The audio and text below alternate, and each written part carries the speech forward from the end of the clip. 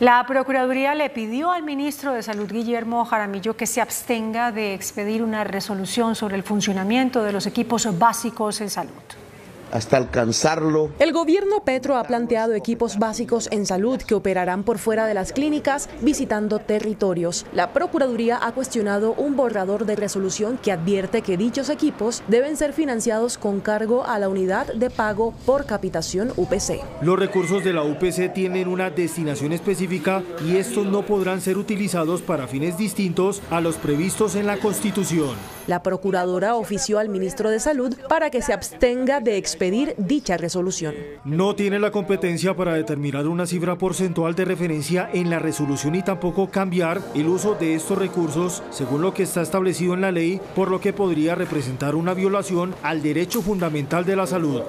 Los exministros de Salud Alejandro Gaviria y de Hacienda José Manuel Restrepo cuestionaron el aval fiscal que se le dio a la reforma a la salud. Para el exministro de Hacienda José Manuel Restrepo, el nuevo documento presentado por el gobierno es un estudio de costos que calificó como confuso. No es un aval fiscal, es un estudio de costos y de ingresos con serias dudas sobre los ingresos y sobre mayores costos, incluso además con costos fiscales que arrancarían el primer año cercanos a los 3 billones de pesos. El exministro de Salud Alejandro Gaviria aseguró que el nuevo documento crea más incertidumbres que las anteriores y advirtió que no hay claridad en los costos y sobrecostos de la reforma. La preocupación es la siguiente, construir los centros de atención primaria en salud, la infraestructura, los equipos equipos territoriales puede costar eso, 100 y 200 billones. El sector salud ya tiene un déficit grande para pagar por los medicamentos, tratamientos y procedimientos hoy en día. Si usted esa plata la sustrae de los tratamientos y medicamentos, va a crear una crisis de atención en salud. Ambos se pronunciaron durante un foro de reactivación económica en la Universidad EIA, en Envigado, Antioquia. La Superintendencia de Salud investiga posibles acciones irregulares entre EPS y gestores farmacéuticos que pudieron llevar al desabastecimiento de algunos medicamentos.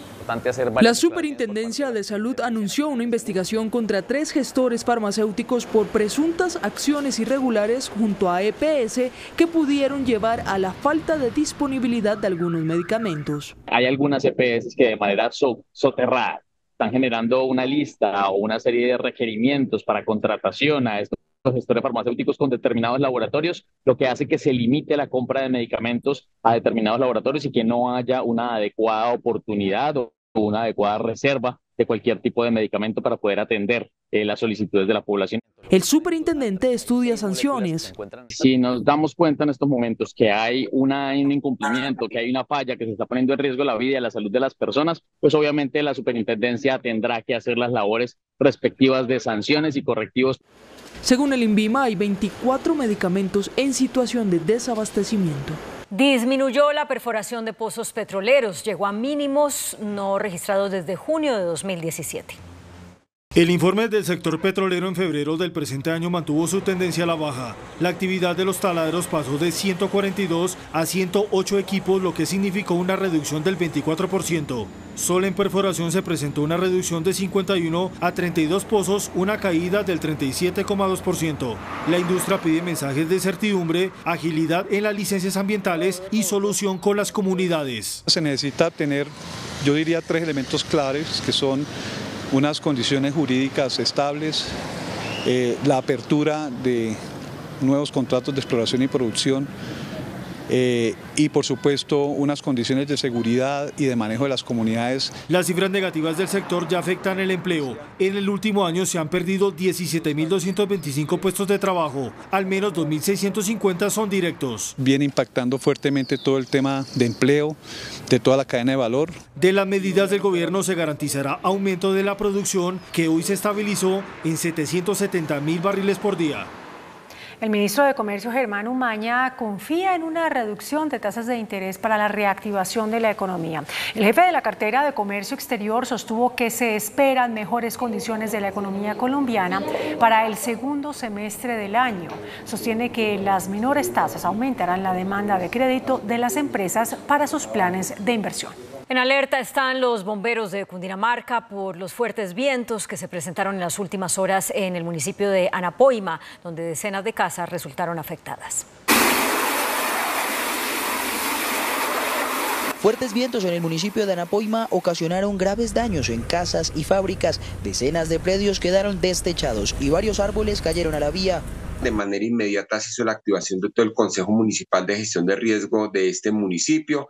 El reporte inicial fue afectación de varias eh, viviendas. Autoridades recomiendan estar alerta en esta Semana Santa que se avecina, pues estas situaciones se pueden seguir presentando como preámbulo de la llegada del fenómeno del niño. Estamos ingresando a la primera temporada de lluvias, por lo cual de acuerdo a los reportes del IDIAN, estos se van a seguir reportando en diferentes zonas del departamento de Cundinamarca. En el municipio ninguna persona resultó lesionada a pesar de la intensidad de la emergencia. El hospital que trató a Kate Middleton investiga a varios empleados que intentaron acceder a su historia clínica, mientras que el equipo de la princesa de Gales afirmó que prepara su reaparición pública en una misa el próximo 31 de marzo. Al menos tres miembros del personal de la London Clinic, el centro hospitalario donde Kate Middleton fue sometida en enero a una cirugía abdominal, intentaron acceder al historial médico de la princesa. Según los medios británicos, se trata de un fallo grave de seguridad que resulta increíblemente dañino para el hospital, dada su impecable reputación a la hora de tratar a los miembros de la familia real. Por otro lado, el arzobispo de Canterbury defendió a la princesa de Gales ante las teorías sobre su salud, afirmando que son chismes de pueblo y que este tipo de acciones no son correctas. Además, el equipo de la princesa prepara su reaparición pública en una misa el próximo 31 de marzo, domingo de Pascua, durante el servicio religioso que tradicionalmente atiende a la familia real británica. En Estados Unidos, el dinero de campaña del actual presidente Joe Biden aumenta mientras los honorarios de los abogados de Donald Trump se acumulan. A pesar de que la campaña de Donald Trump experimentó un aumento en las donaciones en febrero, no logró igualar el ritmo acelerado de recaudación de fondos establecido por Joe Biden, cuya operación política amplió su ventaja financiera sobre el rival republicano. La Superintendencia de Industria le impuso una millonaria multa a Avianca por infringir reglas de libre competencia en la venta de paquetes turísticos. La superintendente Cielo Rusinque sancionó con más de 4 mil millones de pesos a la aerolínea por privilegiar a una agencia de viajes integrada a esa compañía con precios de etiquetes más bajos. El senador republicano de Florida, Marco Rubio, emerge como posible opción para vicepresidente en la campaña electoral del expresidente Donald Trump.